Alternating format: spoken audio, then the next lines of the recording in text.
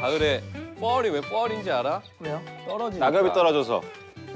falling 뭐 이런 거. 어느 날나 낙엽 주는 소리에 아 좋다.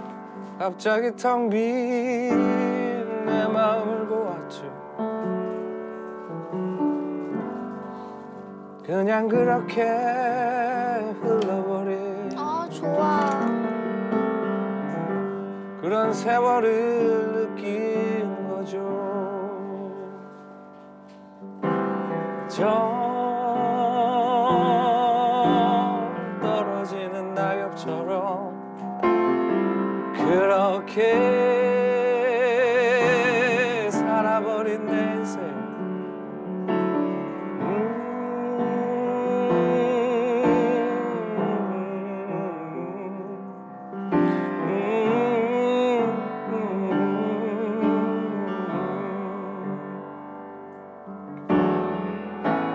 늦어버린 것은 아닐까. 잃어버린 것은 아닐까.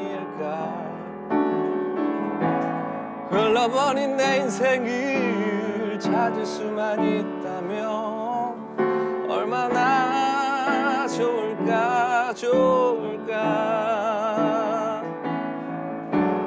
난 참 바보처럼 살았군요 난참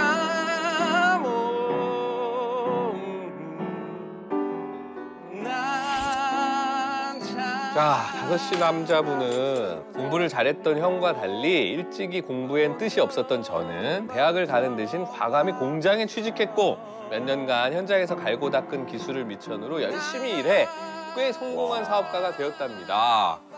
어떤 사람일지 궁금하다. 되게 거친 외모. 거칠네.